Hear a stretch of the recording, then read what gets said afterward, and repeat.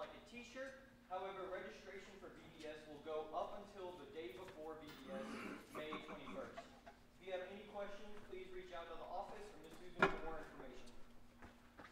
Next week is the last week for youth, rooted, and children's Sunday school uh, before the break for the summer. So, wanted to throw that out there. New members class starts next week.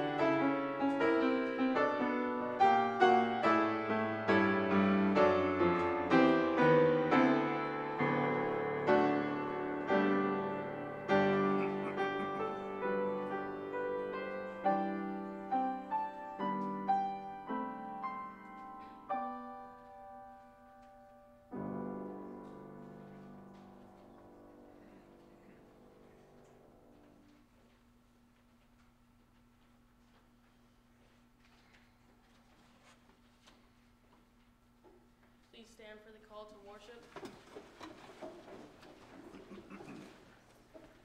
Our praise to you we sing across the earth. With gladness, Gladness we serve you. you welcome us into your presence with open arms. Lord, you are God. Created in your image, we are yours. We are your people and the sheep of your pastures. Your steadfast love endures forever. So with thanks in our hearts, let us worship you, God.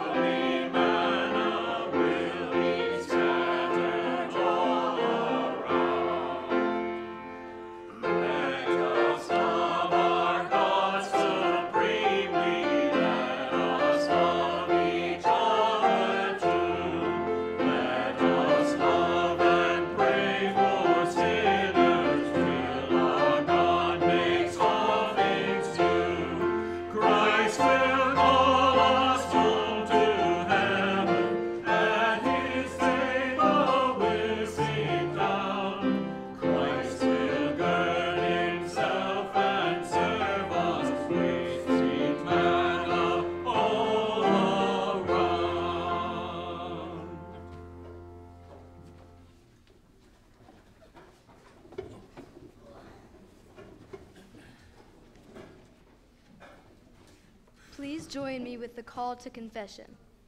We acknowledge we all have shortcomings, so we come before you to ask for forgiveness through our confession.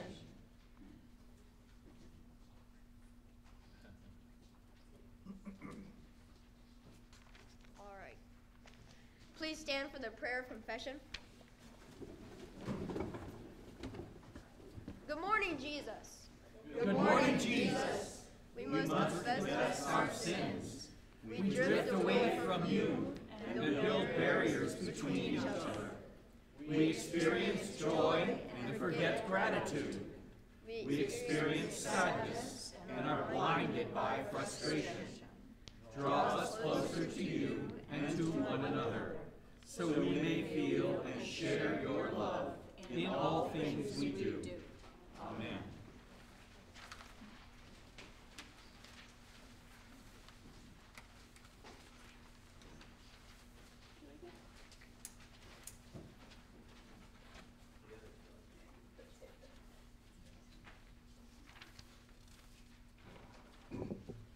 God's better is bigger than our sins. Know that through him you are good and you are forgiven. Peace is among us. Please share it with your neighbor. Peace be with you. Your, your glasses, right, right.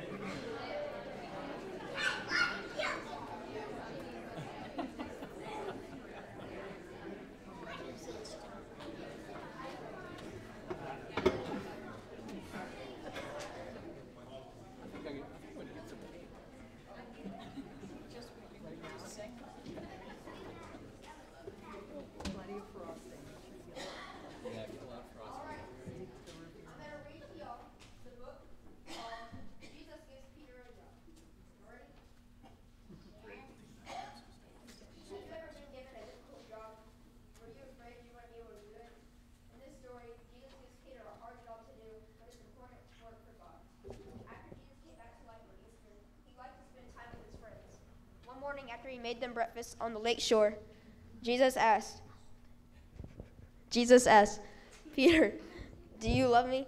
Peter was surprised at Jesus' question because he had been with Jesus just from the beginning. Yes, Jesus, I love you, said Peter. Feed my ship, sheep, the people I love you. Jesus said to Peter. Then Jesus asked one second time, Peter, do you love me? Yes, Jesus, I love you very much, Peter answered. Jesus told him again, Take care of my sheep, the people I love. Then Jesus asked a third time, Peter, do you love me? Now Peter was really wondering if Jesus had heard his answer. And then he said, My teacher, you know all about me. You know that I love you and trust you. Feed my sheep and the people I love, said Jesus. All right. Who says I love you to you? Your mom? Ella. Who says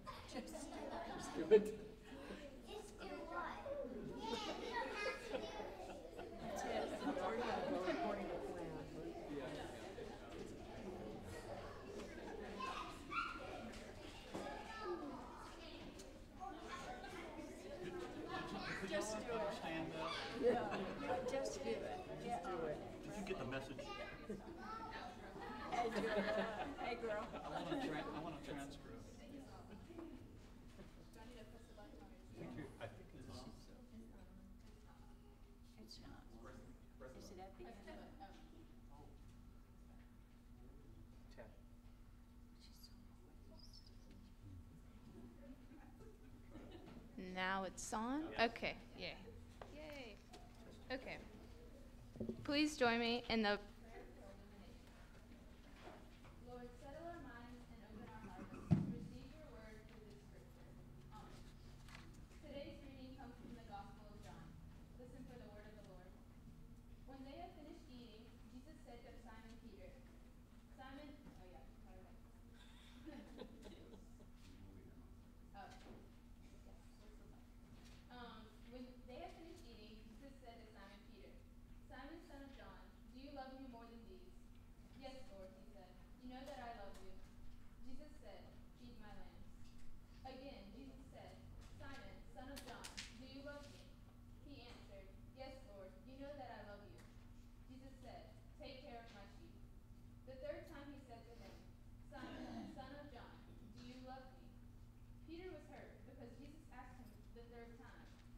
you love me? He said, Lord, you know all things. You know that I love you. Jesus said, Feed my sheep. This is the word of the Lord. Thanks, Thanks be to God. God.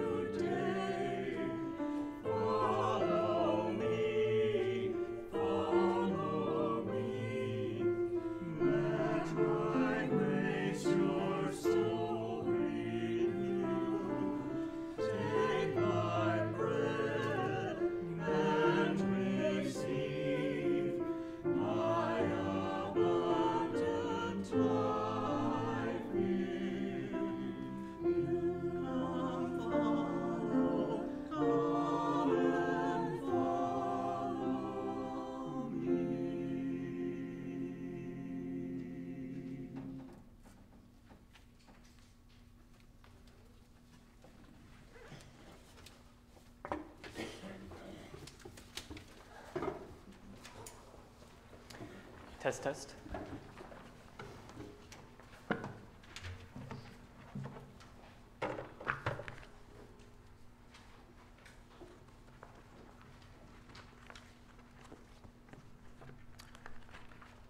What would you do if your friend blatantly lied to your face? What if he said, I'll be there for you, and never showed up? I'll keep an eye out for you and watch over you, and then fell asleep? Would you still want them in your life? Would you still go back to them, asking them for a favor? Well, that's Peter and Jesus' relationship. Peter is the friend that said, I know you. But when asked about him, when asked about Jesus, Peter said, I don't know Jesus. He said that three times. Peter also said, I'll take a step out into the water with you, and then looks away and falls in the water. Peter said, I will keep an eye out for you, Jesus, while you sleep. But he fell, while you pray, but he fell asleep after looking out for Jesus. So, why is it that after so many times of Peter messing up, Peter making a mistake, Jesus keeps coming back to Peter? He keeps coming back with love and relentless drive to be with Peter. Why is that? In this passage, there's a couple different forms of love that is talked about. In the Greek translation, love can mean several different things. And the way Jesus describes his first love, the way he says his first question, Peter, do you love me? This is not natural love built by a family being around each other. This is not friendship love. This is not a, a love to go out and do something. This is a love that is so strong and such a large commitment that you would sacrifice your life for that person. It's called agape. It's a form of the noun agape. And Peter, uh, Jesus asks Peter, Peter, do you love me in that way? And Peter says, Yes, Lord, I love you. But he doesn't say it in a, the way of a strong commitment that I would sacrifice my life. He says it in a way that describes friendship and says, Lord, I love you as a close friend, as a best friend, but I do not love you as a strong commitment that I would sacrifice my life for. Why does he say it that way? Because he knows he's already broken that promise. Earlier in the Bible, Peter already broke that promise by denying Jesus three times and saying, I don't love Jesus that way, but I love him as a friend. And so Jesus says to him, Feed my sheep. And then he asks again, Peter, do you love me? In the same way, a strong commitment, do you love me that you would sacrifice yourself for me? And Peter says, Lord, I love you as a friend. And then Jesus asks him a third time, Peter, do you love me? But this time he switches it. He switches to the form that is less strong, less love, and says, Lord, do you, Peter, do you love me as a friend? And this time Peter's hurt. I would be hurt too if someone I loved asked me three times, Do you love me? Do you love me? Do you love me? And Peter says, Lord, you know all things. You know I love you. And that is true. Jesus knows all things. He knows Peter's heart. He knows that despite Peter's mistakes, despite Peter's lack of doing things that need to be done, he knows Peter's heart is still pure and true, and that in his heart, he still loves Jesus. And so he says to Peter every single time Peter, Feed my sheep. Take care of those that I love. He says that multiple times, relentlessly saying, Peter, feed my sheep. Now, all the disciples are here, and they're all hearing this. They've seen all of Peter's mistakes, they've seen what Peter's done, and they see Jesus coming to Peter again saying, Do you love me? Take care of my people. Take care of those I love. So, me and my family, we like to go on trips. We like to visit my grandparents in Michigan and all of our family up there. We like going to Mississippi and visiting my family there. We like taking trips to the beach with all of us, hang out, get some sun, relax in the ocean, but we don't bring our entire family. We leave two things at home our cats, Stella and Lana. So, what do we say when we leave them? Do we just leave them without food, without water? Just let them fend for themselves in the house? No, that's cruel. It's mean. We ask somebody, hey, feed our cats while we're gone. Take care of them. They need somebody there.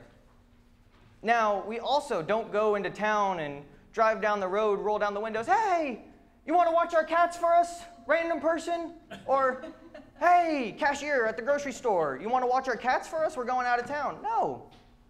We don't ask random people to do these things for us. We don't ask random people to trust, and we put our trust in them to care for something we hold dear in our hearts. So, why would Jesus ask Peter to care for something he loves if he didn't trust Peter? Peter made all these mistakes, but Jesus said, That's okay. You're human. You can make mistakes. I still trust you to carry out my will and love the people I love, even though you're not perfect. That's okay. And all of the disciples see this. All the disciples, they've messed up, they've made their mistakes. They're seeing this. They see Jesus coming to Peter, and there he's Jesus is telling Peter, It's okay. So the disciples are saying, It's okay for me too. I've made my mistakes, but I'll continue doing what I want to do for Jesus because I know that's what he wants. Sends a message to the disciples, and they get invigorated and go out and do and take care of Jesus' people that he loves. And this message is not specifically for the disciples or for Peter. Yes, they were there. Yes, Jesus told them to told them this. But this message gets reflected back on us. We love Jesus. What does Jesus tell us to do? The number one commandment. He's always telling us, everybody. It's, he's, he's pretty much every story he's doing this. It's to love other people, to take care of his people, to love each other. And that's what he tells us to do. We've seen that Peter made mistakes, but he was also the only one to get out of the boat and walk towards Jesus. He was the one that last week we talked about. He jumped out of the boat, running through the waves, trying to fight the force of the waves, fighting the sand beneath his feet as it plowed away. He's losing his step. He's running towards Jesus. He's the only one. Jesus sees what's in his heart and trusts him. Jesus sees what's in our heart and trusts us to take care of his people. We're supposed to love each other. How do we love each other? Do we simply say, I love you? I love you. I love you. I love you. I love you. I love you. I love you. I love you guys. I love you guys over there. I love those kids in the back. Is that good enough? Some people it might be. Dr. Gary Chapman says that there are five love languages that people have and they can express their love to others. They are words of affirmation, acts of service, gift giving, spending quality time, and physical touch. Can these things be used to show our love for others? I think they can. The first one, acts of service, I thought that was fairly easy to come up with an example. Acts of service. We do this all the time at church. We have missions, we do all sorts of stuff to help people. Acts of service, showing our love for somebody else. Somebody who can't go to the grocery store, we can run out and get some groceries for the week. Somebody who might not be able to mow their lawn or take care of their grass, we can do that. We can help out. Somebody who needs something from us, we can always do that. We can always help out. That's awesome. That's fairly easy. It's a good way to show love to those. The second one goes fairly hand in hand with acts of service, gift giving. Sometimes our friends and neighbors have lost everything they hold dear. Recently, there was a tornado that blew through the town right next to Statesboro. It tore people's houses up, they lost their treasures, they lost everything that they hold dear, held dear in their heart. So, what did everybody else do? They went together, they got together, and they built new homes. They offered food and shelter. They give them the gift of safety. That's very close to service. They said, Here you go, take what I have, hope you can do better with that. Showing love by giving somebody something they need. Words of affirmation. Pastor Taylor does that every week up here. Telling somebody, telling all of us, hey, you are good enough for Jesus. You are enough. You have done a great job doing what God wants. You are awesome. I appreciate you. Pastor Taylor gets up all the time and says that. Brings a smile to my face sitting in the back. And I really appreciate her showing her love to me and everybody else here. The fourth quality is an interesting one spending quality time with each other. Showing love by just sitting next to a person and being there with them. We also do this every Sunday. Coming into church, sitting next to each other, being here with each other, listening to each other, hanging out, we're showing love to each other. That's awesome.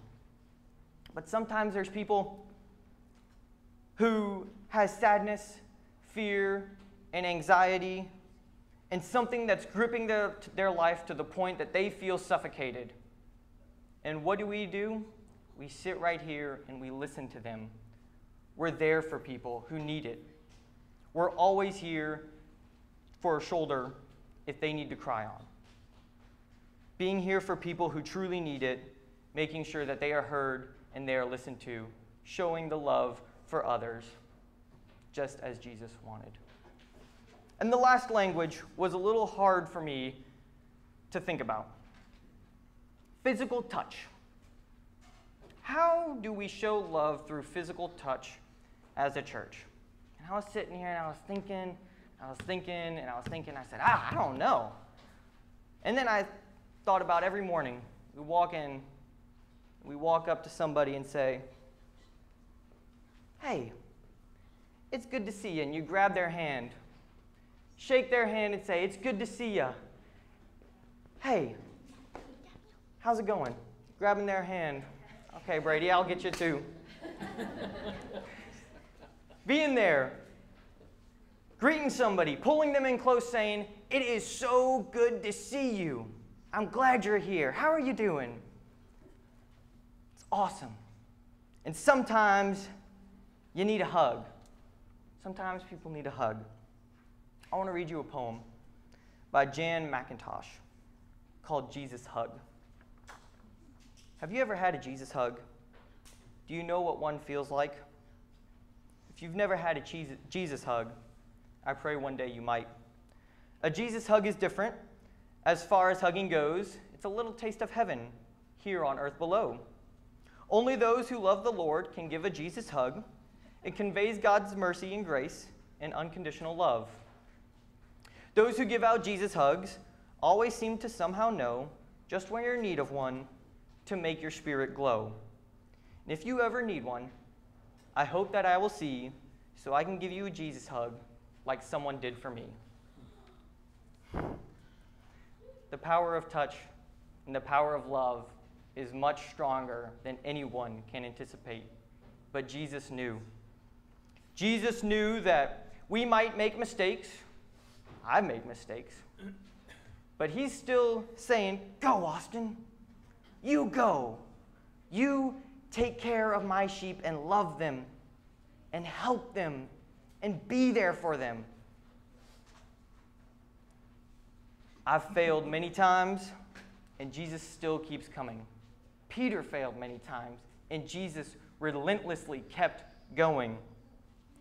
And we will continue to fail, and Jesus will continue to be here for us because our imperfect love is good enough for God's perfect love. And that's true love. Thank you.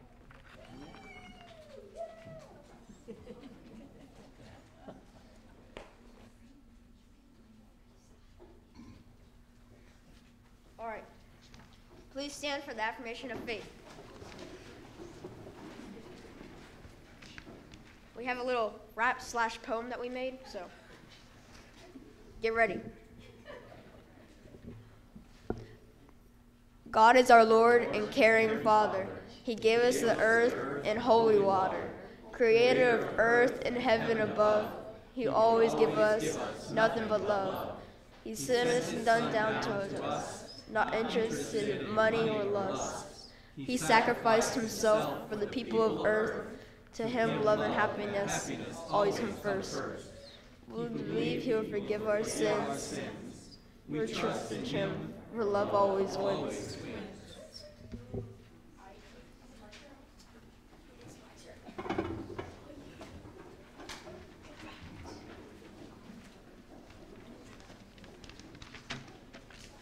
So, God blesses us, us with many things.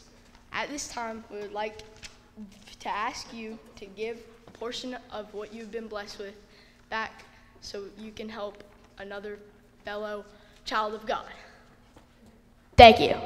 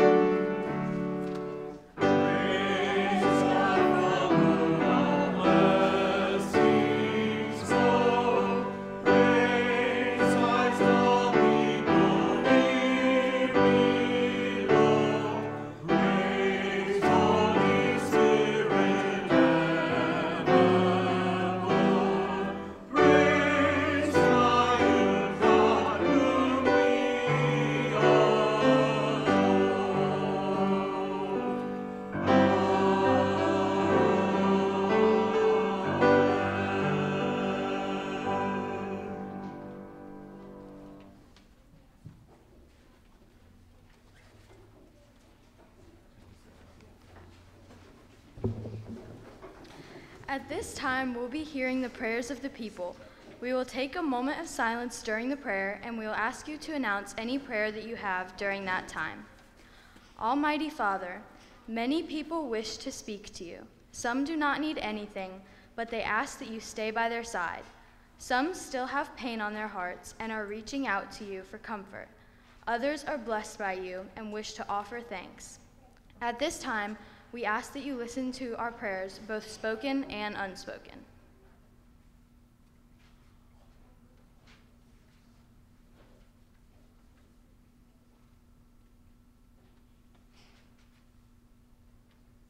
Hear our collective words as a prayer of gratitude, a prayer of safety, and a prayer of hope.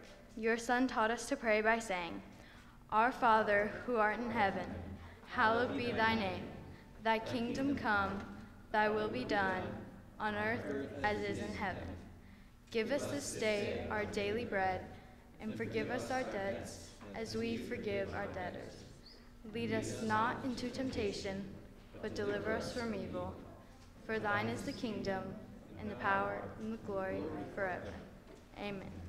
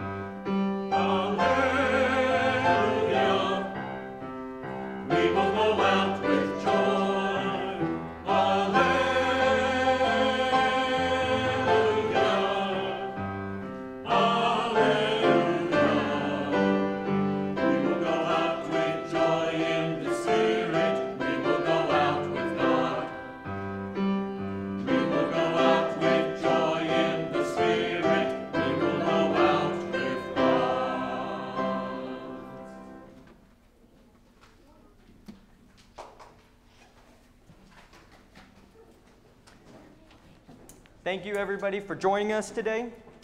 We appreciate you being here, and the youth appreciate you being here as well.